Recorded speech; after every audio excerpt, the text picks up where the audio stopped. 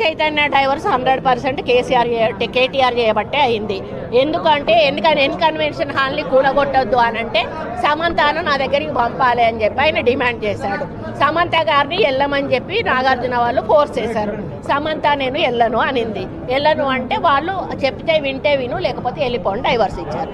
అది open secret. అది అందరికీ కూడా ఇంటర్నల్గా మీడియా వాళ్ళంతా వాళ్ళకి ఎవరికి ఇండస్ట్రీ వాళ్ళందరికీ కూడా తెలుసు. ఈరోజు సమంత జీవితం అన్యాయం కావడానికి హండ్రెడ్ పర్సెంట్ కేటీఆరే కారణం. అదే విధంగా ఇద్దరు ముగ్గురు హీరోయిన్లు పెళ్ళిళ్ళు కూడా చేసేసుకున్నారు.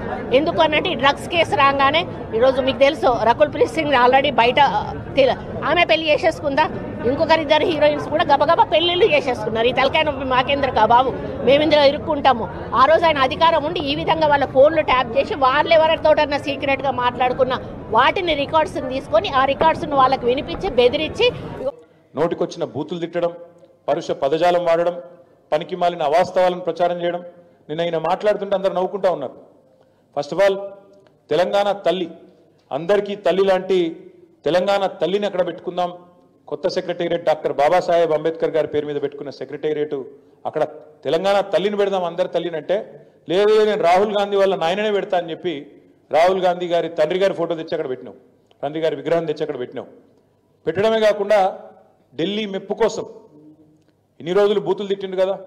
సోనియా గాంధీ గారిని బలిదేవత అని రాహుల్ గాంధీ గారిని ముద్దపప్పు అని నానా బూతులు ఏవైతే గతంలో తిట్టినావో వాటిని కవర్ చేసుకోవడానికి ఈరోజు చాలా కష్టపడి వాళ్ళ ప్రాపకం కోసం నేను చెప్తున్నాడు. ఏం చెప్తున్నాడు? రాజీవ్ గాంధీ గారు కంప్యూటర్ కనిపెట్టిండట. ఇక నీకు నీకు ఎంత తెలివి ఉందో దీన్ని బట్ట చెప్పొచ్చు. అయ్యా రేవంత్ రెడ్డి గారు నీకు తెలియదు. దరిద్రం ఏంటంటే నీకు తెలియదన్న విషయం కూడా తెలియదు.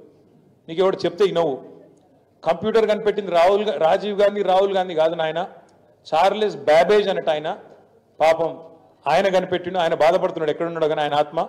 అది బాధపడతా ఉన్నది. రాజీవ్ గాంధీ గారు భారతదేశానికి కంప్యూటర్ పరిచయం చేసినట్టు.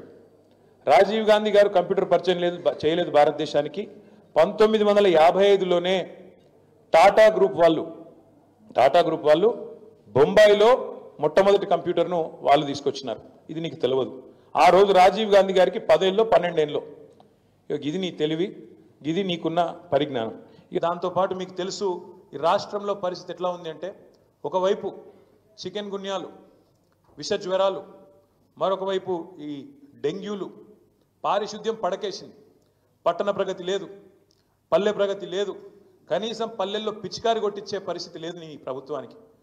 స్కూళ్ళల్లోనేమో చాక్ పీసులకు పైసలు లేవు. పల్లెల్లోనేమో పిచికారి కొట్టించేందుకు పైసలు లేవు. సర్పంచుల బిల్లులు ఇవ్వవు ఆఖరికి పోలీసుల బండ్లల్లో మరి మమ్మల్ని అరెస్ట్ చేసి వాళ్ళని కొట్టబోయేటోళ్ళకి వాళ్ళకు కూడా మరి కనీసం వాళ్ళ బండ్లలో డీజిల్ పోసే ముఖం లేదు. దాంతోపాటు హోంగార్డులకు కూడా జీతాలు ఇచ్చే పరిస్థితి లేదు. చెప్తూ పోతే ఒకటి ఒకటి రెండు కాదు. రాష్ట్రంలో ఒకవైపు హెల్త్ ఎమర్జెన్సీ పెట్టే పరిస్థితి ఉన్నది.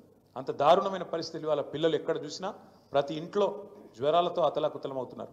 ఇవన్నీ ఒకవైపు ఉంటే పాలనను పక్కన పెట్టి కేవలం కేసీఆర్ను బీఆర్ఎస్ పార్టీని తెల్లారి లేస్తే తిట్టడమే ఒక పనిగా పెట్టుకొని ఒక పనికిమాలిన పాలన నడుపుతున్న రేవంత్ రెడ్డి గారికి ఇవాళ ప్రజాపాలనా దినోత్సవం జరుపుతా ఉన్నాడు. అందుకే ఇవన్నీ చెప్తా ఉన్నాడు. ఈ సెప్టెంబర్ పదిహేడును ప్రజా పాలనా దినోత్సవం అంటున్నాడు. ఈ రాష్ట్రంలో ఇంతవరకు పాలన అనేదే లేదు. ఆలన లేదు పాలన లేదు. గురుకులాల్లో పిల్లలు అవస్థలు పడతా ఉన్నారు విషాహారం తింటూ. గురుకులాల్లో పిల్లల మీద అఘాయిత్యాలు జరుగుతూ ఉన్నాయి. గురుకుల టీచర్లను రెండు వేల ఐదు వందల మందిని తీసి పక్కన పెట్టేసినారు సడన్గా ఆకస్మికంగా. ఇట్లాంటి పరిస్థితి ఉంటే ప్రజాపాలన పేట డైవర్షన్ గేమ్లు ఆడుతున్న రేవంత్ రెడ్డి గారు పరిపాలన మీద దృష్టి పెట్టు. పరిపాలన చెయ్యి. ప్రజలకిచ్చిన హామీలు నెరవేర్చు. అందుకే ఇవాళ మేము మా పార్టీ తరఫున రాష్ట్ర ప్రభుత్వానికి ముఖ్యంగా ముఖ్యమంత్రి రేవంత్ రెడ్డికి చెప్పేది ఏమంటే ఇకనైనా ఈ పదవ నెల నుంచి అయినా పరిపాలన మీద దృష్టి పెట్టి ముందుకు పోండి. తప్పకుండా ప్రధాన ప్రతిపక్షంగా మేము ఎప్పటికప్పుడు ప్రజా సమస్యల్ని మీ దృష్టికి తీసుకొస్తానే ఉంటాం. మిమ్మల్ని ఎండగడుతూనే ఉంటాం. ప్రజాక్షేత్రంలో ప్రజా ఉద్యమాలు నిర్మించి తప్పకుండా ఉద్యమిస్తూ మీరు ఇచ్చిన నాలుగు వందల ఇరవై హామీలు అమలు చేసేదాకా మీ అంతు చూస్తాం మీ ఎంబడబడతామనే మాట కూడా తెలియజేస్తూ నిన్న నువ్వు ఏదైతే తప్పు చేసినావో తెలంగాణను అవమానిస్తూ తెలంగాణ ఆత్మను అగౌరవపరుస్తూ తెలంగాణ తల్లి ఎక్కడైతే కొలు ఉండాలనో అమరజ్యోతి మధ్యన అంబేద్కర్ సచివాలయం నడుమ నట్ట నడుమ తెలంగాణ భవిష్యత్ తరాలకు భవిష్యత్ పాలకులకు కూడా స్ఫూర్తిగా ఉండాల్సిన ఆ స్థలంలో ఎక్కడైతే తెలంగాణ తల్లి కొలువు తీరాలో అక్కడ నువ్వు రాహుల్ గాంధీ గారి తండ్రిని పెట్టినావు తప్పకుండా మళ్ళీ చెప్తా ఉన్నా. సకల మర్యాదలతో మేము మళ్ళీ ప్రభుత్వంలోకి వచ్చిన మరుక్షణమే సకల మర్యాదలతో ఆ విగ్రహాన్ని అక్కడి నుంచి తిరిగి నీ గాంధీ భవన్కు పంపిస్తాం. అంతగానం ప్రేమ ఉంటే జూబ్లీహిల్స్లో నీ ఇంట్లో పెట్టుకో. లేదా ఇంకో కాడ పెట్టుకో కానీ అక్కడ మాత్రం ఖచ్చితంగా తెలంగాణ తల్లి ఉంటుంది. ఇది జరిగి తీరుతుంది రాసి పెట్టుకోమని చెప్పి కూడా ఈ నిమజ్జనం రోజు చెబుతూ తప్పకుండా రాష్ట్రంలో గణేష్ పండుగ జరుపుకుంటున్న మా సోదరులకు సోదరిమణులకు ఈ వినాయక నిమజ్జనానికి సహకరిస్తున్న రాష్ట్ర ప్రభుత్వ యంత్రాంగానికి మా తమ్ముళ్ళకు మా చెల్లెలకు ఎవరైతే గణేష్ నిమజ్జనానికి ఘనంగా ఊరేగింపుగా గణపతి బప్ప మోరియా అంటూ ముందుకు పోతున్నారో వారందరికీ కూడా శుభాకాంక్షలు తెలియజేస్తూ చివరగా ఈరోజు మా విద్యార్థి నాయకులను కూడా ఎక్కడికక్కడ అరెస్ట్ చేసినారు. ఏమన్నాం మేము?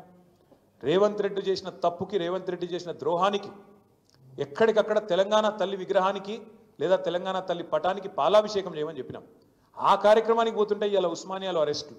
ఇలా రాష్ట్ర వ్యాప్తంగా మొత్తం అన్ని నియోజకవర్గాల్లో మా విద్యార్థి నాయకులను అరెస్ట్ చేస్తూ ఉన్నారు. పోలీసులు వెంటనే ఈ అత్యుత్సాహాన్ని మానుకొని వెంటనే వారందరినీ కూడా విడుదల చేయాలని చెప్పి శాంతియుతంగా ప్రజాస్వామ్య పద్ధతుల్లో నిరసన చెప్తున్న వాళ్ళ మీద ఈ రకమైన దాడి మంచిది కాదనే విషయాన్ని కూడా వారికి గుర్తు చేస్తూ ధన్యవాదాలు నమస్కారం.